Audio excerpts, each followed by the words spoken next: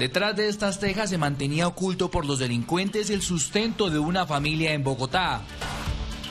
Esta planta eléctrica valuada en más de 70 millones de pesos fue recuperada por las autoridades en medio de un operativo en la localidad de Rafael Uribe Uribe. La dueña de la mercancía hurtada fue la encargada de liderar la búsqueda hasta llegar a este parqueadero en el barrio Marco Fidel Suárez.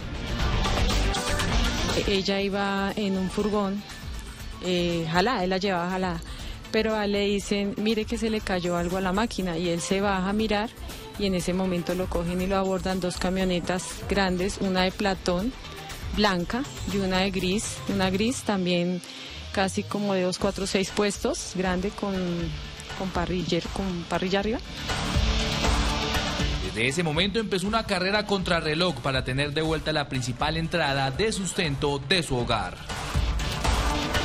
Yo me puse a hacer el seguimiento de las cámaras desde el momento en el que ellos hacen el hurto y empiezo a seguirle la pista.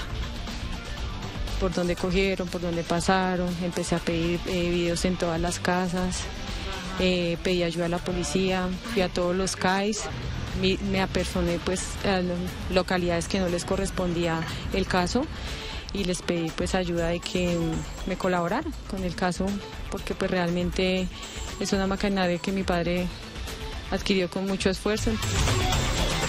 Como se ven estas imágenes, incluso el halcón de la policía apoyó el operativo para lograr el ingreso al terreno. Este vehículo es hurtado en una localidad aledaña a Rafael Uribe y gracias a esa articulación que existen con nuestras patrullas, las cámaras del C4 y el halcón, se logra dar con la recuperación de este importante elemento.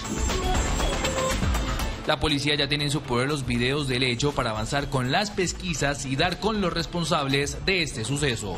Si esta noticia le interesó o quiere conocer más, no olvide suscribirse en nuestro canal de YouTube que es gratis, visitar eltiempo.com o seguirnos en nuestras redes sociales.